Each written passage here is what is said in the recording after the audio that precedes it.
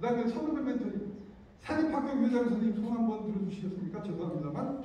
사립학교. 네. 저는 사립학교의 무궁무진한 자원이 바로 선배라고 생각합니다. 공립은 소속감이 사실 좀 없고, 돌아가 애들이. 근데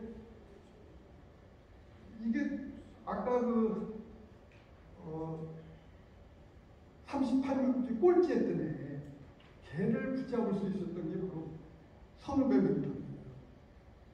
졸업생 중에 저는 그 애들이 나를 버리지 않는 한 카톡에 다 모아요. 그래서 지금 15,000명이에요.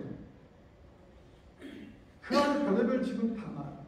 대통령 빼고는 멀리 다 있어요. 국회의원도 있고 법률가도 있고.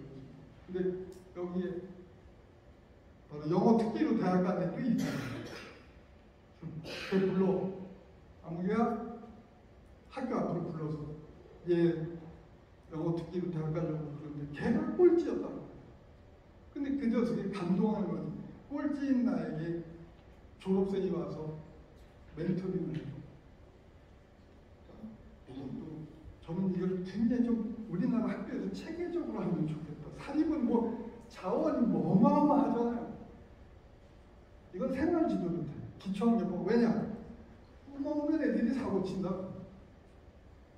그래서 생활 지도도 한꺼번에 되는 아주 노성비 높은 이 선후배 멘토링이고 교사학생